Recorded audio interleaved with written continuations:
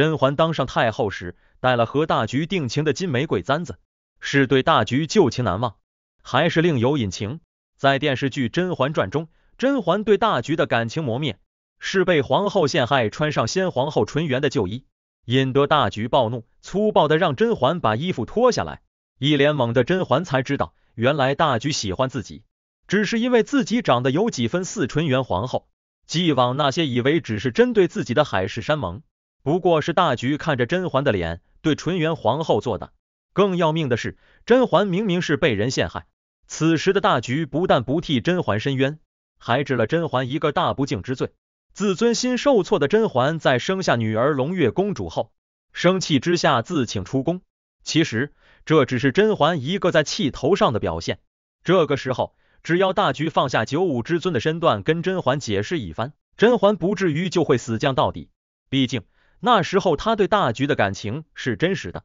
可惜大局却认为甄嬛这种反应是不成熟的表现。毕竟在他的后宫中，就连年世兰那样嚣张跋扈的个性，也会想方设法去讨好大局。所以大局认为全天下的好女人就应该讨好自己。所以他也有意以出宫为由规训一下眼前这个不成熟的甄嬛，而甄嬛自请出宫这件事说出口，也有几分试探的意味。他以为大局会留他，会给他一个交代，因为毕竟穿错一件衣服而已，罪不至死。可大菊却偏偏什么都没说，任由甄嬛出宫。心灰意冷的甄嬛在离宫时，她并未带走任何首饰，因为这里的一切都是属于大菊的，不是她的。甄嬛离开不久后，恰逢胧月公主生日，皇上不知不觉的走到碎玉轩门口，想起了被自己放出宫的甄嬛，余情未了，便决定进去坐坐。进去之后，他在桌子上看到了一支金玫瑰簪子，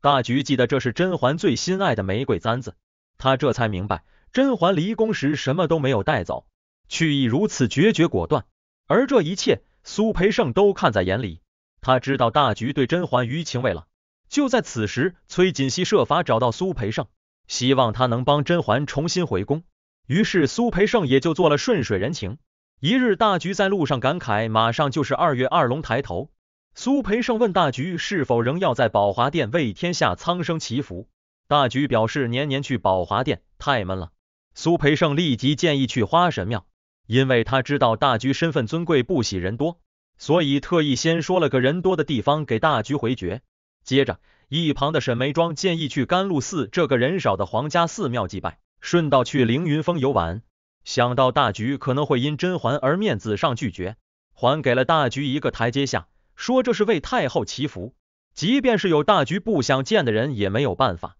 就这样，二月二那天，大菊就急切的去甘露寺寻找甄嬛。在甄嬛一系列做小伏低的演绎之后，两人一番云雨之后。大菊从龙袍中取出那只金玫瑰簪子给甄嬛，从这个细节我们就能看出，大菊早就知道自己去了之后一定会找甄嬛，他可不是没准备就来了。给甄嬛这只簪子，寓意有两个，第一是表达我在宫里一直是惦记你的，第二是作为再次定情的信物，表达我一定会接你回宫。这支簪子就这样重新回到了甄嬛手中。可你有没有发现，甄嬛再次回宫之后？一次都未曾佩戴过这簪子，道理也很简单。大菊拿着簪子当做二人重归于好的信物，可在甄嬛心里，第二次回宫纯属为了保护自己肚子里的孩子。大菊不过是实现自己目的的工具人，他对他在内心深处已经没有任何感情，所以即便这簪子以前是他最爱，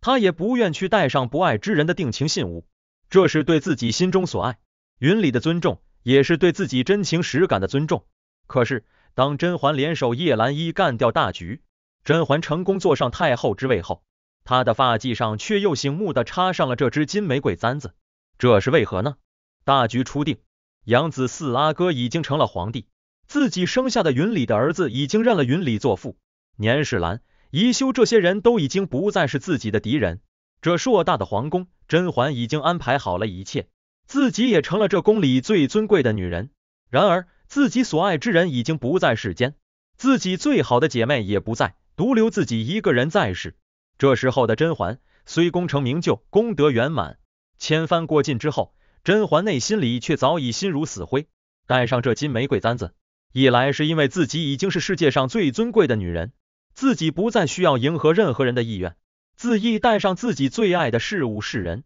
二来甄嬛已经准备好以最美丽的自己去迎接和云里重逢的日子，这是甄嬛对逝去的爱情和爱人做最后的告别，也是他内心深处最隐秘的纪念和追忆。今天的后宫故事就和大家分享到这里，咱们下期见。